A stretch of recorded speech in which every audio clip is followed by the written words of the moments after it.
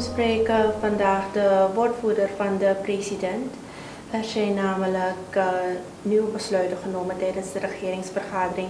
Welke zijn die? Tijdens de RRV zijn er enkele cruciale kwesties behandeld en besluiten genomen met betrekking tot het IMF-programma. Er vinden momenteel gesprekken plaats over herziening van de BTW-wet en implementatie van een anticorruptiewet.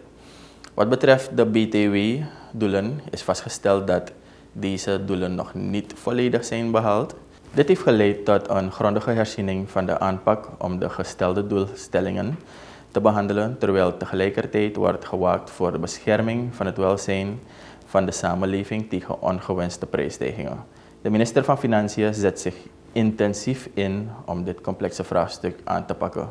Een interessante punt om te benadrukken is dat de overgang van omzetbelasting naar BTW daadwerkelijk heeft geleid tot lagere belastingtarieven op producten.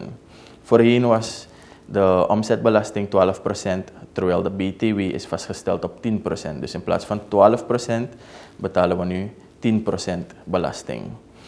In de strijd tegen corruptie heeft de regering een belangrijke stap gezet door het ontwerp staatsbesluit ter uitvoering van artikel 9 lid 5 en artikel 11 lid 3 van de anticorruptiewet goed te keuren. Dit besluit heeft betrekking op de verklaring van inkomen en vermogen en het register van ontvangstbewijzen voor publieke functionarissen. De minister van Financiën heeft de vergadering eerder verlaten om gesprekken te voeren met het IMF-team. Direct na afloop van de vergadering is er bericht gekomen dat er een overeenkomst op stafniveau is bereikt. Het Internationale Monetaire Fonds, IMF, heeft woensdag aangekondigd dat het een overeenkomst op stafniveau heeft bereikt met Suriname over de derde beoordeling van het leningsprogramma van het land.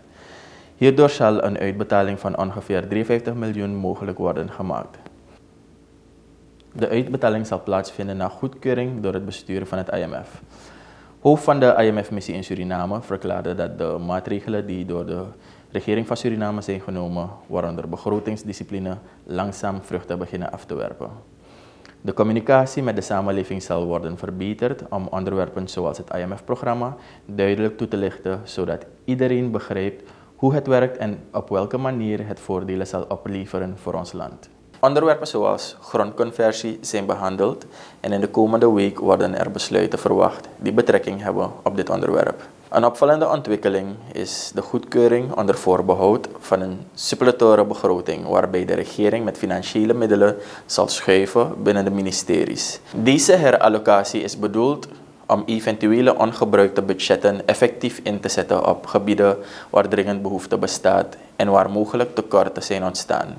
Deze strategische aanpak illustreert de inzet van de regering om lopende projecten en taken succesvol uit te voeren.